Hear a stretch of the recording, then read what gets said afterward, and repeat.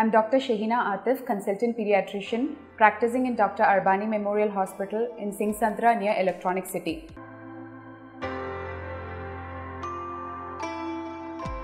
So during the feeding, the mother may experience some breast pain. So these are uh, usually taken care uh, by the proper positioning of the baby. Especially uh, baby's uh, mouth should be wide open. The uh, baby's abdomen should face the mother's abdomen and uh, the most of the areola part should be inside the uh, mouth of the baby. In such case, uh, the pain will be less and there is lesser chances of the mother uh, getting any sore nipple, crack nipple.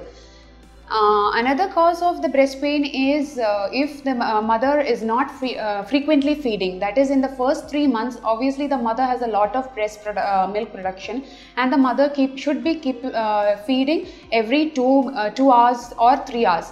In case this is not fed the milk get collects, collected and it causes a severe pain by the engorged breast now this can be relieved by, uh, in case it happens, it can be relieved by putting some warm compresses and following which you can express a little milk out and then uh, followed by feeding the baby.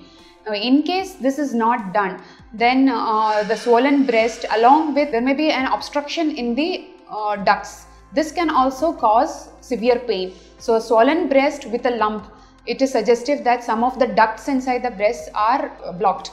So uh, again as I have mentioned you have to put a warm compress and then slowly express the milk so that the duct is opened up. In case uh, none of this uh, expression of the milk and the milk is not taken out, the milk gets uh, collected inside and the mother may experience fever. This leads to breast infection, mastitis and it may even form an abscess which will require further treatment uh, by the gynecologist. You either will have to take the oral medications or even maybe an incision will be required. So these are all the major causes of the breast pain.